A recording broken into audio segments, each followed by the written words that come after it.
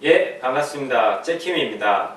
예, 오늘은 그 올바른 릴리스 동작과 그 다음에 피니시까지 한꺼번에 묶어서 설명을 드리겠습니다. 예, 잭킴의 그 지난 유튜브 동영상을 보시면 최초의 takeaway에서부터 백스윙 top, 그 다음에 전환 동작, 그 다음에 임팩트까지 예, 영상을 검색해 보시면 아, 그 레슨 영상들을 찾아보실 수 있습니다. 예, 오늘은 어, 임팩트 이후에 예, 릴리스 동작에 대해서 한번 살펴보겠습니다. 예, 올바른 릴리스 동작은 어, 방향을 어디로 보내느냐에 대해서 어, 굉장히 연관성이 높습니다. 그래서 릴리스 동작을 올바로 하셨을 때 공을 좀 더 내가 원하는 방향으로 보내실 수 있습니다. 그 릴리스 동작의 그 핵심 포인트는 뭐냐면 아, 손목을 아, 언제 아, 쭉 펴느냐 이 부분이 사실은 릴리스의 가장 중요한 아, 관건입니다.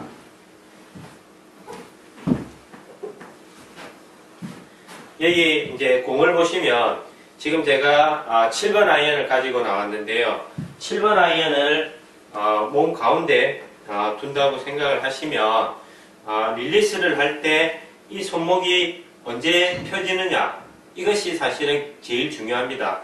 그래서 다운스윙 때 내려오고 임팩트를 들어갈 때 이 손목이 펴지는 타이밍에 대해서 한번 유심히 어, 관찰해 보시고 또 펴지는 타이밍을 좀 더 빠르게 또는 좀 더 늦게 하, 시는 것에 따라서 공이 어, 슬라이스도 나고 또 훅도 나고 또 스트레이트도 어, 생기고 예, 그런 영향을 미칩니다. 그래서 공이 있는 지점에서 거의 동일한 지점에서 손목이 펴진다면 어, 공이 아무래도 제일 똑바로 갈 확률이 높습니다. 예, 그런데 내 손이 공보다도 좀 더 많이 진행이 된 상태에서 릴리스를 하신다면 공이 오른쪽으로 돌아갈 확률이 높습니다. 예, 손이 공보다도 좀 더 많이 지나가서 릴리스를 하시면 아무래도 클럽 페이스가 열려있는 상태에서 공을 가격하기 때문에 공이 예, 그 오른쪽으로 어, push가 날 수도 있고요. 그러니까 오른쪽 방향으로 그냥 날아갈 수도 있고 또 오른쪽 방향으로 휠 수도 있습니다. 그런데 이번에는 반대로 공이 공이 있는 지점에서 릴리스 되는 것이 아니고 공보다 조금 더 어, 빠른 타이밍에서 릴리스가 된다라면은 공은 어, 왼쪽으로 가게 되어 있습니다. 그래서 왼쪽으로 잡아당기는 pull이 발생할 수도 있고요. 또는 어, 클럽 헤드가 빠르게 돌아가면서 어, 훅이 또 날 수도 있습니다. 그래서 어, 지금 연습장에 가보셔서 내가 이 릴리스 손목이 쭉 펴지는 시점이 어, 언제인지를 한번 체크를 해 보십시오. 그래서 그 타이밍을 좀 더 많이 끌고 가서 해보시면 공이 분명히 오른쪽으로 날아갈 것이고요. 타이밍을 좀 더 빠른 타이밍에서 아, 채가 들어간다라면 공이 아, 왼쪽으로 나가겠죠. 그래서 내가 릴리스 즉 손목을 펴는 어, 시점을 한번 조절함에 따라서 내가 원하는 구질로 어, 공을 치실 수 있습니다. 예, 그래서 어, 물론 어, 푸시나 풀 또는 뭐 슬라이스나 훅이 꼭 손목이 풀리는 타이밍만 가지고 결정나는 것은 아닙니다. 아, 다운스윙 때 어, 팔이 어떻게 들어오느냐에 따라서 아, 1차적으로 그 원인이 아, 만들어지겠죠. 팔이 아무래도 안쪽으로 들어오면 손이 바깥쪽으로 나가기 쉽겠죠. 안쪽으로 들어왔다고 하더라도 릴리스 타이밍이 굉장히 늦어지면 공은 바깥쪽으로 돌아가게 되어 있습니다. 그래서 안쪽으로 들어와서 공과 거의 손이 일직선이 되는 시점에 있어서 팔을 쭉 펴주는 느낌으로 예, 릴리스를 하시면은 아무래도 공이 제일 아, 한가운데로 날아갈 확률이 굉장히 높습니다. 예, 그래서 오늘 연습장에 가시면 손목이 언제 풀리는지를 한번 유심히 관찰해 보시고 또 그 타이밍을 내 느낌상 조금 빠르게 조금 늦게 그렇게 한번 해보시기 바랍니다. 아, 다시 한번 조금 요약해서 설명을 드리면 어, 손 그 다음에 클럽 헤드가 아, 공을 때릴 때 일직선에서 헤드가 풀리느냐 아니면 손이 좀 더 지나가서 아, 공을 때리느냐 아니면 공보다 조금 전에 풀려서 때리느냐에 따라서 어, 방향이 세 가지 방향이 생기죠. 그래서 손이 많이 좀 지나가서 공을 때리게 되면은 오른쪽으로 돌아가게 되고요. 공과 손이 클럽 헤드가 일직선이 되는 시점에서 맞으면은 어, 직선으로 갈 거고요. 좀 더 손이 공보다 내 오른쪽에 가깝게 있으면서 클럽 헤드가 맞으면은 왼쪽으로 가는 예, 그런 형태의 구질이 생깁니다. 예, 이렇게 릴리스를 하시면 그 다음에 팔을 그대로 뻗어서 이제 피니시로 가겠죠.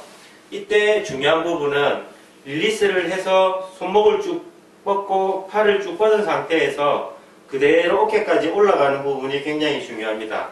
이때 머리와 그 다음에 왼쪽 어깨가 열리거나 또는 들리거나 하지 않도록 그대로 유지하는 것이 굉장히 중요합니다.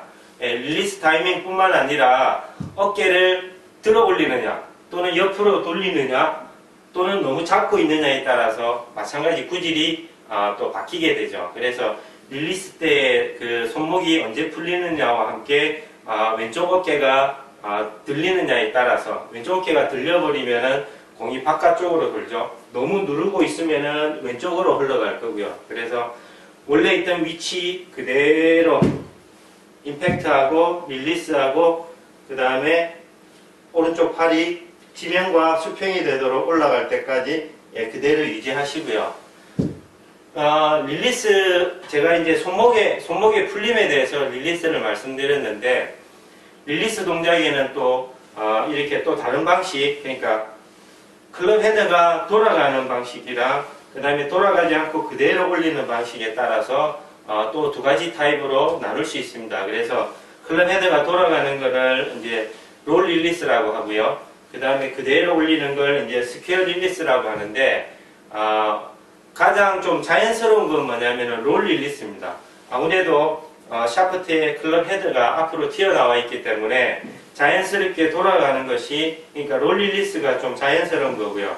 square release는 어, 헤드를 강제로 돌아가지 않게 내가 좀 붙잡고 어, 나가는 형태죠. 어, 그런데 사실은 스윙하는 속도가 굉장히 빠르기 때문에 그 빠른 속도 안에서 손목을 내 마음대로 컨트롤하는 것은 사실은 굉장히 어렵습니다. 그래서 지금 어떻게 보시면은 이제 이 영상을 보시는 분의 그 구력에 따라서 또는 공을 치시는 어, 급에 따라서 어, 손목을 쓰시는 방식이 조금씩 다를 텐데요. 되도록이면 손목을 어, 내가 임의로 사용을 안 하시려고 하시는 게 좋습니다.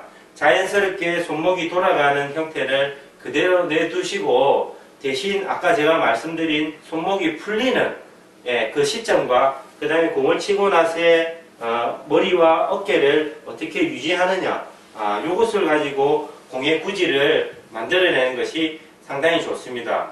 손목이 돌아가는 것은 임의로 만들기가 또는 임의로 내가 컨트롤하기가 사실은 쉽지 않습니다. 물론 그 부분도 일정 부분의 연습이 필요하지만 좀 더 상급 코스로 갔을 때 연습을 해보시고요. 지금은 그냥 느낌 가는 대로 편안하게 아, 휘둘러 주는 것이 연습 상황에서 또는 필드에 실제 나가셔도 아, 훨씬 공을 똑바로 치시는데 더 편안하게 치실 수 있습니다. 그래서 팔이 지면과 수평이 되도록 쭉 올라가고 나시면 그 다음에 자연스럽게 날아가는 그 느낌 그대로 올려서 어, 피니쉬를 잡으시면 되는데 이때 어, 아이언 같은 경우는 사실은 풀샷을 보통 안 치시죠. 그래서 컨트롤의 느낌을 치시면은 처음에 이렇게 숙여놨던 그 자세에서 많이 일어나지를 않으실 거고요. 그렇지만 아이언도 강하게 풀샷을 치시면은 돌아가는 만큼 상체를 어, I자로 세워주시는 것이 어, 당연하다고 할 수 있겠습니다. 예, 그래서 너무 억지로 치고 나서 억지로 이렇게 잡아 놓으신다든지 아니면 일부러 벌떡 일어나신다든지 하시는 것은 좋지 않습니다.